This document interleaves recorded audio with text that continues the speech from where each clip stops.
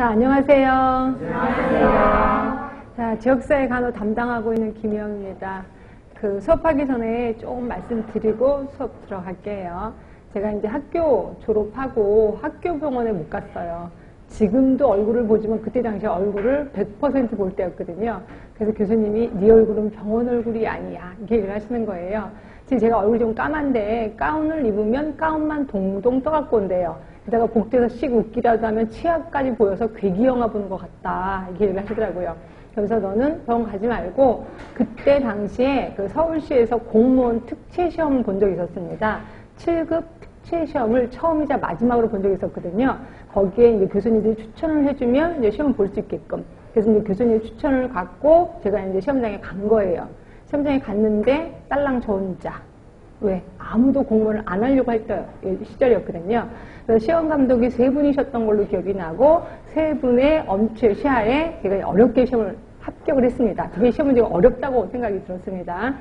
자, 지금은 8급부터 시작하잖아요. 근데 그때 당시 9급부터 시작을 했었어요. 근데 한 급수 올라가는데 10년 이상 걸린다는 건 알고 계시죠? 그죠? 결국 저는 껑충 20년을 뛰어서 들어간 거예요. 그러면 학교 졸업하자마자 바로 달고 들어갔으니까 그러니까 지금에 말하면 차지급이라고 생각하시면 돼요.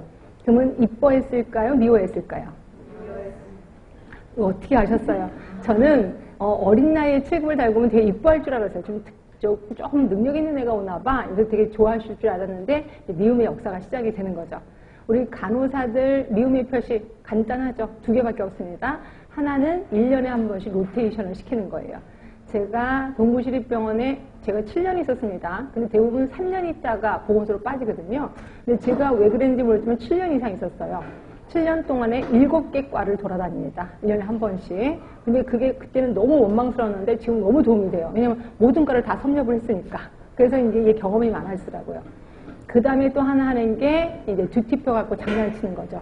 자, 지금은 말도 안 되지만 그때 당시에 나이트 근무를 쫙 한 7일을 줍니다. 7일을.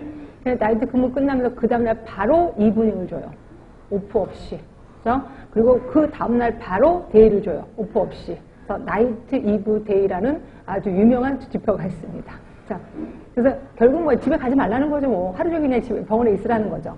하여튼 이거야. 그래서 어, 여러분들도 혹시라도 이런 둘 중에 하나를 내가 병원에 가서 하고 있다면 아 나는 조직으로부터 미움을 받고 있구나 이렇게 생각하시면 됩니다. 하여튼 제가 거기서 한 병, 원에서 7년 있었고 보건소로 빠지면서 한 3년 있었고 해서 10년 동안 참을 만큼 참다가 정말 힘들었어요. 왜냐하면 왕따를 너무 많이 시켰거든요.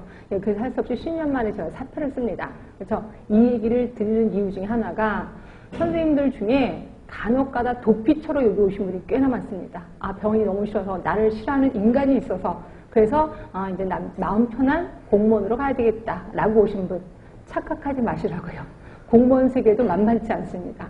사람을 미워하는 거는 뭐 시도 때도 없습니다. 그리고 되게 웃긴 건 뭐냐면 저렇게 비슷한 인간이 날 미워해. 다른 곳으로 가면 똑같은 인간이 기다리고 있습니다. 그래서 결국 아 이건 내 팔자구나 라는 걸 느끼게 됐습니다. 그래서 이제 10년 만에 그만두고 그 다음에 가만히 있으니까 너무 환, 어, 이렇게 막 좀 말도 안 되는 거 답답한 거예요. 그래서 공부를 합니다. 그게 이제 3년 공부한다는 보건교사 공부를 준비해요. 선생님들 3년 동안 한다고 생각하시죠? 또 3년 공부를 하고 지금 다 얘기하잖아요. 순 거짓말입니다. 그래서 그냥 벽, 그러니까, 그러니까 배수지를 딱 치면 1년만 해도 끝납니다. 그러니까 그때 당시에는 아무도 대인관계 다 끊었죠. 좋아하는 음식 다 끊었죠. 그러니까 오로지 나하고만 공부하고 나하고만 밥 먹고 나하고만 잠을 자고 완벽한 100% 나하고만 했습니다. 자, 이러다 보니까 내 속에 나를 발견하기 시작하더라고요. 그래서 굉장히 변덕이 줄긋듯이 하는 그런 내가 내가 아니에요.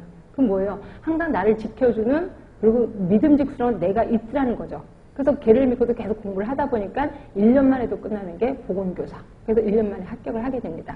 그래서 저는 1년을 나하고만 얘기를 했기 때문에 야 내가 내가 그래서 1년 만에 성공했잖아요. 이게 결국 인간으로서의 승리라고 생각을 했어요. 그래서 제가 첫날 근무하는 날 정말 레드 카펫 카펫을 깔아줄 줄 알았어요. 이것도 역시 착각 착각입니다. 딱그 보건소 딱 학, 아니 보건소가 아니라 그 초, 중학교로 가려면 갔는데 중학교 딱 가니까 똑같이 보건교사 아니 보건교사인데 분명히 양호교사라고 얘기를 하더라고요. 제가 막 홍보를 했었었는데 결국 어디 가나 똑같다는 거예요. 우리는. 그래서 선생님도 보시면 그래서 지금 쭉 생각해 보시면 제일 좋았을 때가 언제냐면 음, 아이러니하게도 지금 선생님들 입장일 때 가장 행복했었습니다. 그러니까 주변 상황 전혀 신경 안 쓰고 공부만 할 때가 가장 행복했다는 걸 제가 느꼈습니다. 근데 그 선생님들도 느끼실걸요? 그래서, 그래서 보시면 아, 이 공부하는 게 뭐가 재밌어요? 근데 하다 보면 잔재미가 있습니다. 그리고 공부는 나를 배신하지는 않더라고요. 그래서 지금 이 자리에 계신 시간이 일생에서 가장 소중한 시간이라는 거 알려드리고 싶어서 그래서 지금 그러니까 얼굴에 제발 웃음기 없애버리지 마세요. 가장 즐거울 때거든요. 그리고 이 시기를 이겨내시면 세상에 두려울 게 하나도 없습니다. 왜? 나는 나를 이겼거든요. 그렇죠?